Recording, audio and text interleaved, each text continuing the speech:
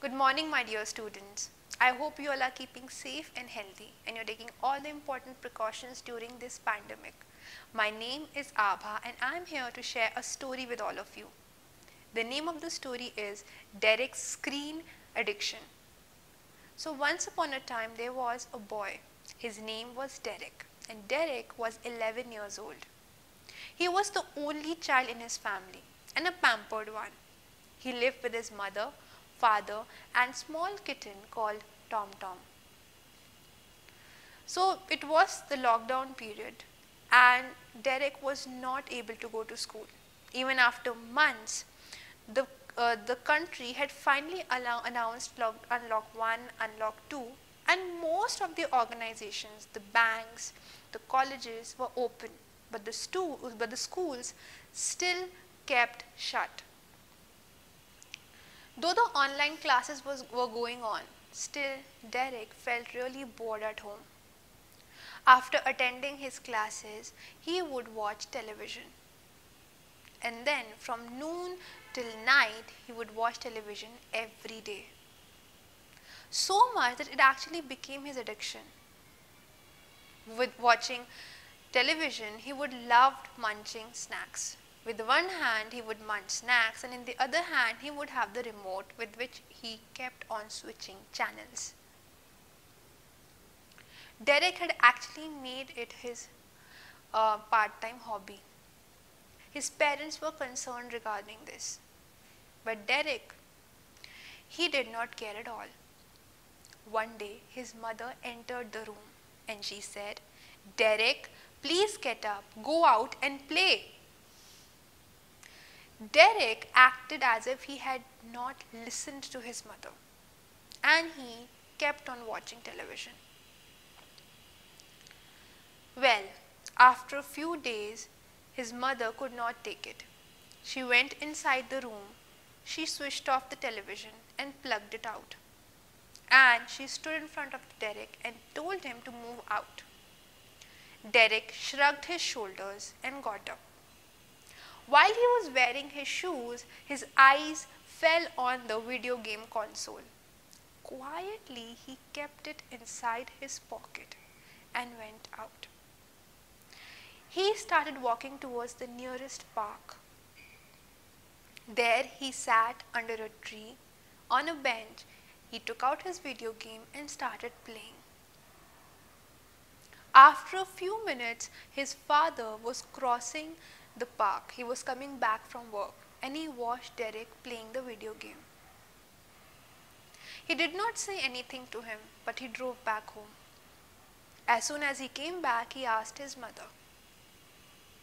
His mom was very happy and she said, Oh, you know what? Derek has gone to the park today. Dejected, his father told her that he had watched him playing video game. Both the parents were extremely concerned. They didn't know what to do with Derek. The next day, Derek was again watching television. And while watching television, he heard sounds of giggle and laughter. He went near the window and he saw two children playing football. They were looking very happy and they were enjoying themselves. Derek switched off the television and walked out. He did not go and talk to them, but he looked at them from a distance. And then the next day, Derek did the same thing. The third day, the children noticed Derek looking at them. They came forward and they told that their name were Edna and Ryan and they were Derek's new neighbors. Then Edna asked Derek, would you like to come and play with us? So Derek said, um, I have never played any sport, so I don't know how to play actually. Will you teach me? Ryan and Edna smiled. And after a few minutes, Derek was playing with them. He indeed felt fresh, he felt really happy, and he felt energized. Derek's mother was having her evening tea. She came near the window and she observed Derek playing with the kids. She smiled.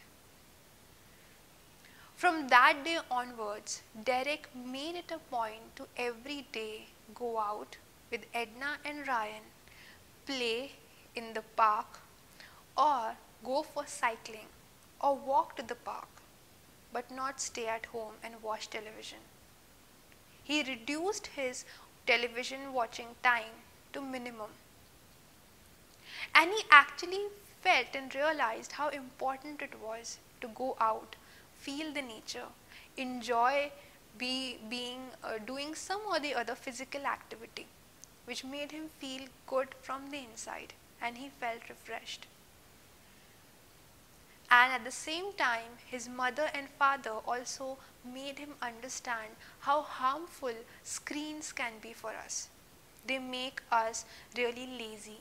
They slow down our thought process and they also make our mood somewhere or the other vary.